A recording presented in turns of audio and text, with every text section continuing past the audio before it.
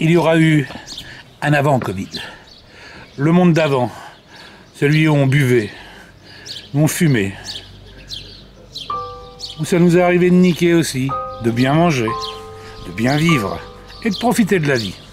Et puis maintenant, il y a le monde d'après.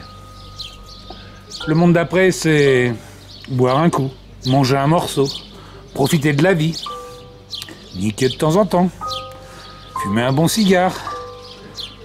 Bah finalement, c'est à peu près la même chose. Et pour la bistroteuse aussi.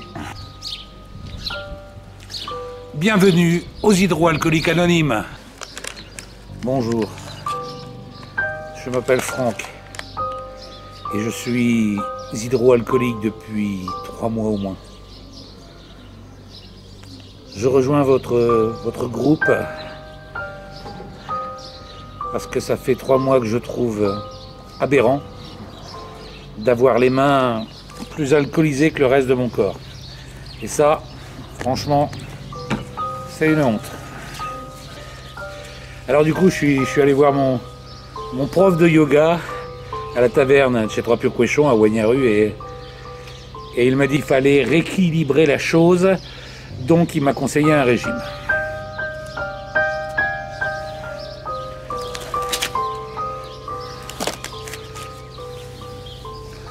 Nous, à la taverne, les gestes barrières, le monde d'avant, le monde de pendant, le monde d'après, on y croit dur comme fer aussi. Mais ce qui nous intéresse, c'est notre vrai gel hydroalcoolique, la bistroteuse. La bistroteuse, elle fait du bien dedans, elle peut même nettoyer dehors s'il le faut. En tout cas, c'est le seul gel hydroalcoolique qui est absolument pas à 15 ou 20 balles le litre, c'est beaucoup moins cher que ça, et on peut se la mettre directement dans le cornet. À la vôtre.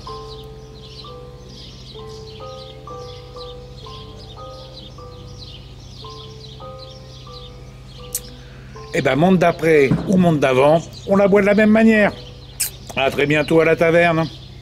Ah oui, après, si vous abusez un peu de la bistroteuse, plus besoin de gel hydroalcoolique, il suffit de se cracher dans les mains, c'est le même effet.